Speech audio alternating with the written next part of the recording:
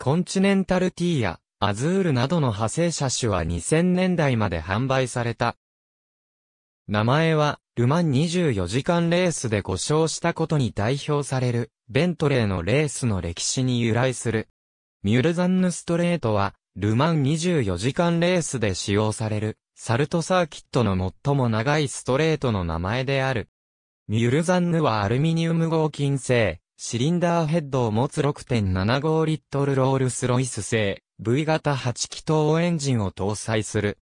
1996年から2つの SU キャブレターは、ボッシュの燃料噴射装置に置き換えられた。トランスミッションは3速 AT が搭載される。ミュルザンヌターボは1982年のサロン、アンテルナショナルドロトで発表され、1985年まで製造された。ギャレットやリサーチ製ターボチャージャーの搭載により、最高出力は50%増加した。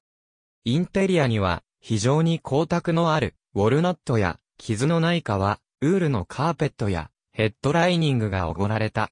498台のショートホイールベース版と18台のロングホイールベース版が生産された。1985年、ミュルザンヌターボは同じエンジンの燃料噴射装置版を搭載するターボ R に置き換えられた。ブリティッシュレーシンググリーンのミュルザンヌターボは007シリーズにジョン・ガードナーによる不死身な奴はいないと独立戦争ゲームの2回登場している。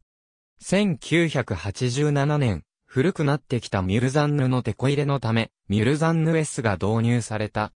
このモデルはターボチャージャーがない以外は、ターボ R に類似していた。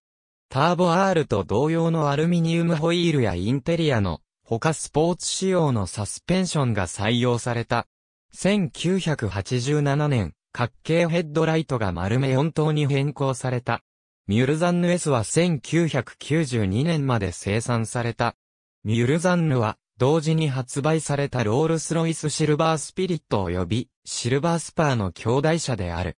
1998年に導入されたベントレーアルマージの登場まで、すべてのベントレーのベース車に使用された。ありがとうございます。